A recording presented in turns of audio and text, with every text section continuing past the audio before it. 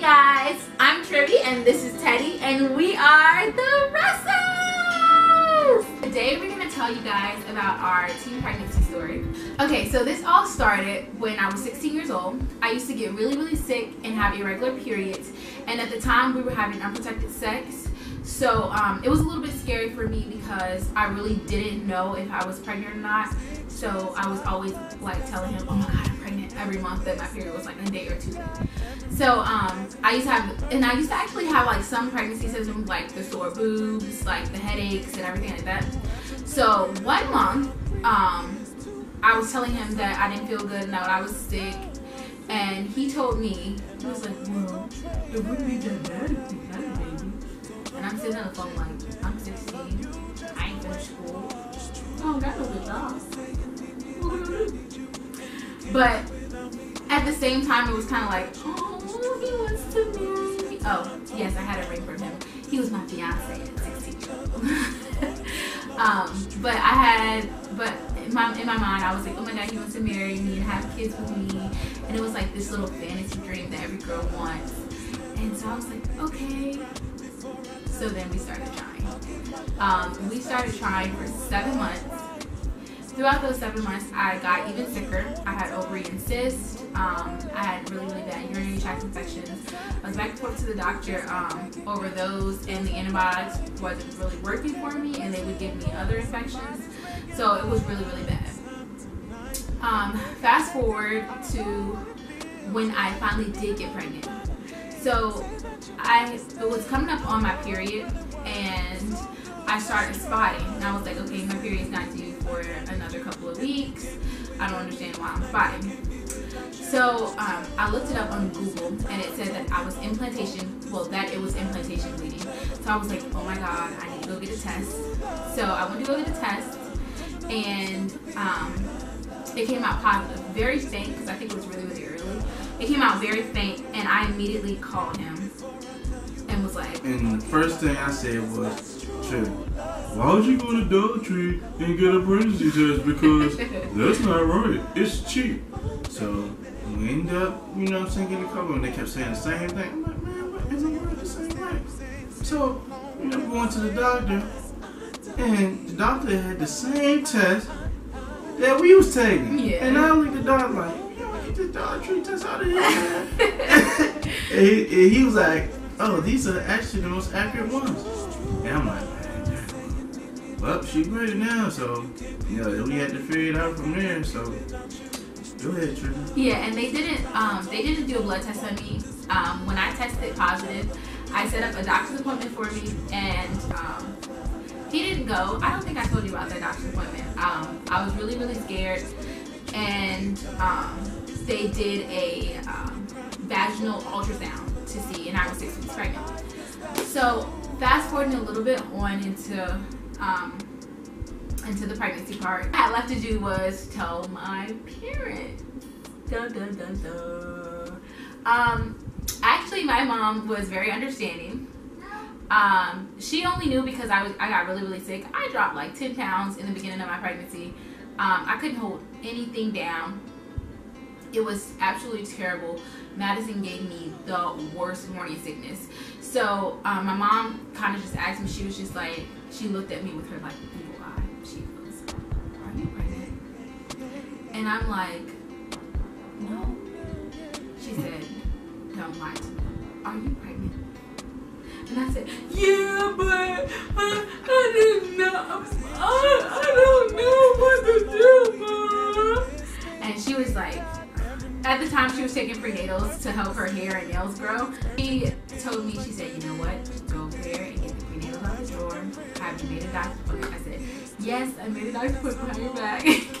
and um, I was six weeks pregnant. So she asked, um, did Teddy parents know? And actually that's how his parents found out. But they didn't find out when my mom found out.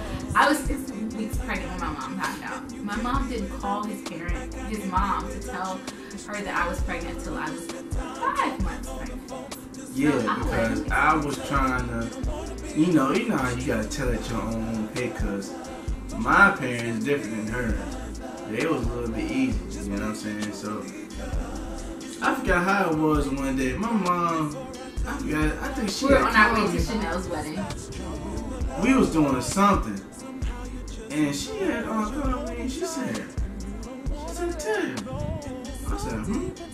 She said, "Yeah, something you gotta tell me." Then you know when when their parents ask you that, you know you you done did something, you in trouble with something, and the first thing I'm thinking is a trip pregnant, trip pregnant, trip pregnant. So, you know me, I said, "No, no, no," and she was like.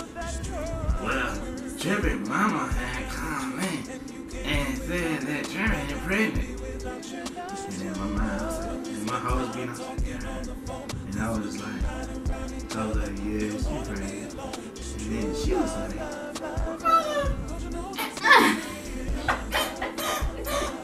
but His mom my, you out. yeah, my mom, like, not to be all touching, but she'll like cuss you out in different, like, in cuss words that don't go together. It'll be in, you know, not even order.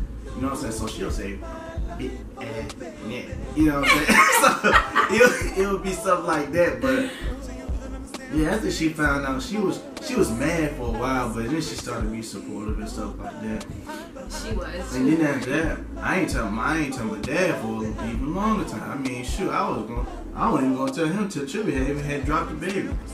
My dad found out I was having to move one day, was moving some stuff in the storage.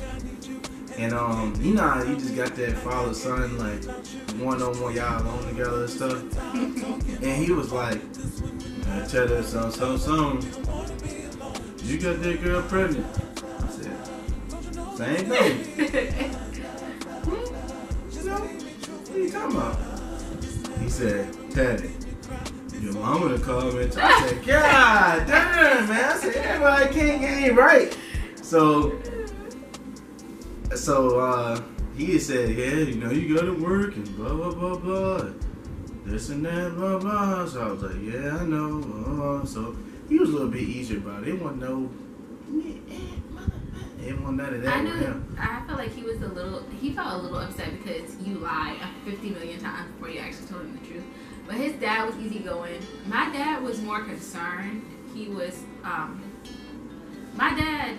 So I a I have a stepdad. Um, I call him my dad because he's been around since I was six years old. Um, I am. He illegally adopted me. So um, that is like another subject anyway.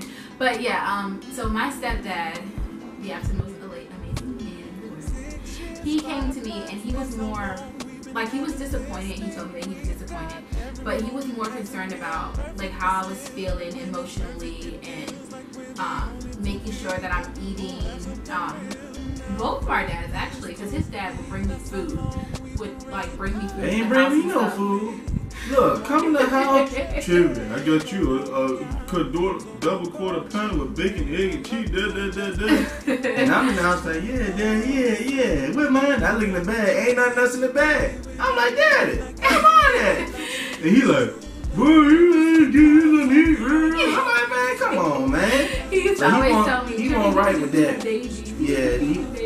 Yeah, I'm right with that. Even though I was pregnant too, I would need some food too. I'm tired too. um, both of our dads were really supportive on that part. Um, my, our moms together, like, cause they, I, they talked a little bit throughout my pregnancy. Um, but they, my mom is more laid back. She really um, restricts her not feelings, cause she'll tell me like that she loves me and that she's concerned. But she's really, really laid back. She's gonna let you. I was. She's gonna let me experience things without being over on my back.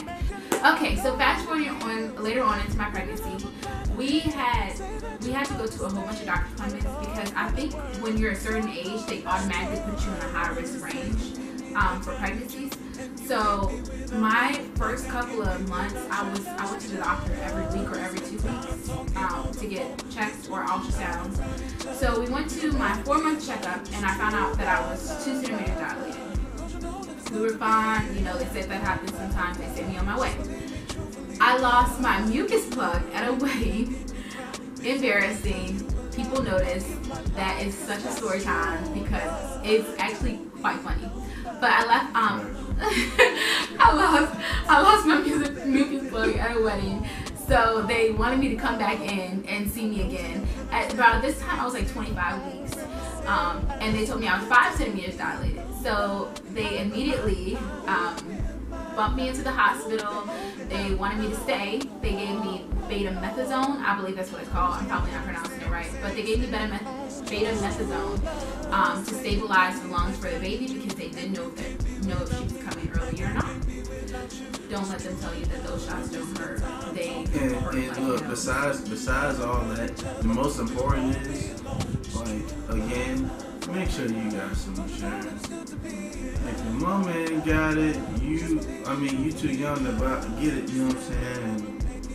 And, you know me, Medicaid is something you better do something, man. And I ain't really have a good job like I was supposed to, you know. So every week it was hundred. Like I said again, it was hundred dollars, hundred dollars, hundred dollars, because it was it was just crazy, man. Like I said, them people kill you in there. You could have Yeah. buy a brand new Mustang, mess with them people. How many payments you gotta mess with in there, man? So again, I repeat, this was probably one of the best advice ever. Make sure your mama and your dad or his mama and his daddy put some insurance on you and the baby. you and yeah. you and the baby. Um, so I was admitted for betamethasone, and um, the shot hurts like hell. It feels like you're burning from the inside. Um, but I had to say, you get your first shot when you get in there, and then 24 hours later, you get your second shot. So I went through that. Um, thank God, my, uh, Madison actually stayed in till 38 weeks. She was a six pounder. Amazing. Got some advice for you guys. So um, I feel like the most asked question for the both of us is Do you got insurance? no, it's not. no, it's not. I think he's saying that so much because Y'all gonna see. You gonna see. yeah, Y'all we- gonna see. we definitely um, had to deal with insurance problems. Like they they cut off my insurance right in the middle of my pregnancy. So then I I went from paying, getting free doctor's appointments to every time I went in for a doctor's appointment, and I was high risk. So I was going in there almost every week or every two Can't weeks. buy no shoes, none. I Can't- was had to between sixty and hundred dollars um, for each for every appointment. So if I had to if they had to rush me and admit me in there, I was paying out my pocket. So. Yes. um, but our advice for you guys, because the most known question for us is that we always get asked is how do we handle being young parents? And we handle it day by day. Um, when I first had Madison, those first couple of days was really, really, really hard. Um, because I was living at my mom's house, he was living at his mom's house. So we had we were battling between you know seeing the baby and our family weren't put together how we wanted it to, and then I was still working. I went, I think I only stayed home with Madison for maybe two to three weeks or so, and I was right back at work. So I would have she would cry in the middle of the night. There was one night I remember so vividly because my mom is stern on. My mom was very stern on me and making sure that I take care of my child. And you might have parents just like this, but Madison was crying the entire night. She pooped up her back. I stuck my hands in poop on accident, trying to change her. Um, and I was calling my mom, and I was just like, I'm so tired. I can't do it. And I was crying. And she goes, I will take her for an hour. I will give her a bath, and I will bring her back to you. That hour I felt like I didn't even go to sleep, but my mom was, she was very strict on making sure that I know, and she knew that we did it on purpose too. So she was making sure that I knew that you run the child into the world, you're gonna take care of it. So I say take it day by day. You, I mean, you have to prepare yourself mentally for the nights that you can't sleep, for the days that you can't sleep, for the crying days, for the poop explosions, for the poops in the bathtub that you have to poop out with your gloves. It um they it's so many things that they don't tell you from from the boob aches when they're getting engorged to them peeling off, feeling raw. Um, to the exploding the boobs in your bra. Uh, there's so many things. I would say just prepare yourself mentally um, for the whole experience. You really have to be positive. And make sure your soulmate is there to support you and because it's gonna be hard when you're a young parent. You're already gonna feel alone. So, you know, whoever you with, make sure they. And if you guys aren't together, at least the most thing I see in young parents. At least have some insurance if y'all. Oh my gosh. you and this insurance. Um, I say like um, I see this most in young um, in teenage parents where the mother will lash out at the father because of the way that he acts. Regardless of who your child's father is, first off, you can't change a man. You cannot change the way they act. You can only change the way you react to them. You have to be um, mature enough in your mind to co-parent with that man. You can't go out and say that your child father is a dog and he's trash and he's this and that. Regardless of whatever he may be, he gave you the most beautiful gift that life could ever you. So he is still your child's father. You still have to co-parent. You can't take your child away from that man because you don't want to. Y'all have to find guidance and um, mutual respect for each other. And I mean that's not advice. What's yours? Don't say insurance. Don't say insurance. Yeah, all I say is just make sure to the guys' part, just make sure you're there with her to help her, and you know any way you can't. You're young, so you can't do much, but this if you if you can't be there, you know, financially, just be there, you know, physically and mentally for. You know what I'm saying? Because it's rough, man. It's rough, and, and remember, if y'all ain't got nothing else, y'all got each other. So that's all I can really say for real. For at the end of the day you know, your parents are gonna be there 24 7 with you all the time and, you know, help you. You just gotta learn with each other as you go. And that's why, real, for it's not as bad as being a because it's- you learn a lot of stuff and it really forces you to not really grow up, but make better decisions, you know, that can affect your life in the long run. So that's all I really got to say. Yes. Um, and don't forget that you're powerful, you're strong, and whatever life throws at you, um, you can make it beyond that and there is no rock that you can move. So.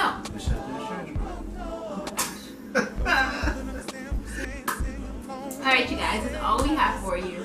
Um, as always, be blessed, put God first, and stay prayed up. And we'll see you guys again in our next vlog. Bye!